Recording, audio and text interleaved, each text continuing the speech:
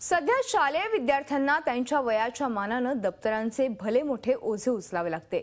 एवढंच नव्हे तर दहा वर्षांपेक्षा कमी वयाच्या अठ्ठावन्न टक्के विद्यार्थ्यांना दप्तराच्या ओझ्यामुळे पाठीच्या दुखण्याचा त्रास होतोय अशी माहिती दप्तराचा अभ्यास करण्यासाठी नेमलेल्या समितीनं आज मुंबई हायकोर्टात दिली.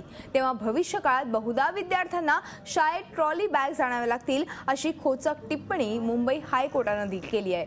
दप्तराचं ओझं कमी करण्यासाठी शाळेच्या वेळापत्रकात बदल करण्याची सूचनाही कोर्टानं सरकारला केली आहे. दप्तराच्या ओझ्यासंदर्भात अभ्यास करण्यासाठी राज्य सरकारनं एका समितीची नियुक्ती केली होती. या समितीनं बारा पाणी अहवाल सादर केलाय. समितीच्या शिफारसी स्वीकारल्याचं सरकारच्या वतीनं कोर्टात सांगण्यात आलंय. या शिफारसी काय आहेत ते पाहूयात ग्राफिक्सच्या माध्यमातून.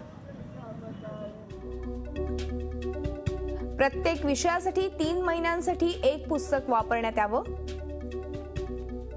कमी जाडीची हलक्या वजनाची पानं पाठ्यपुस्तकांसाठी वापरावी. ई क्लासरूम श्राव्य दृक श्राव्य श्राव्य तंत्रज्ञानाचा वापर करावा.